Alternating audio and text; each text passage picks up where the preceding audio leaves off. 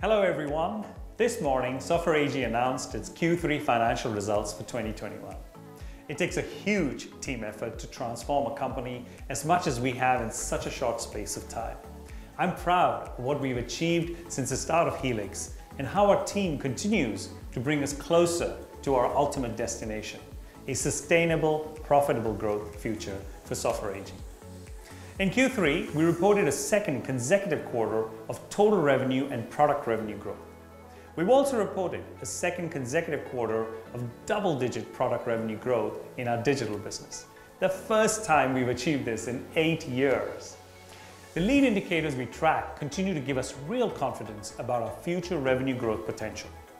Digital bookings from subscription and SaaS reached 88% of our bookings total, ARR growth was 9% in our digital business and was also 9% overall. And recurring revenue reached 94% of our growing product revenue number. Again, ahead of our midterm ambition. These metrics show how much the success of our transformation and the shift to subscription are driving the improving results we are seeing on our profit and loss. As we announced earlier this week, our digital business bookings did not advance at the pace we expected. These results have led us to update our full year guidance.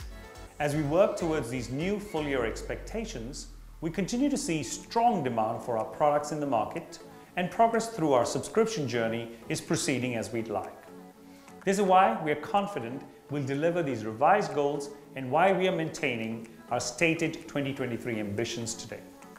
Our confidence is underpinned by the work taking place across our transformation pillars: focus, execution, and team. In our focus and execution pillars, our success in delivering regular innovation to market is helping us win new customers and drive growth. Our technology leadership is shining through. In the space of a few weeks during the third quarter, we were named a leader in Forrester's iPaaS and Industrial IoT Waves, recognized as a leader in Gartner's Magic Quadrant for Industrial IoT, as well as Magic Quadrant for API Management. In our team pillar, we continue to build the culture and capability which will be the foundation of our future success. Very importantly, diversity, equity, and inclusion remain a vital aspect of our work to put the people in our business first and help them flourish.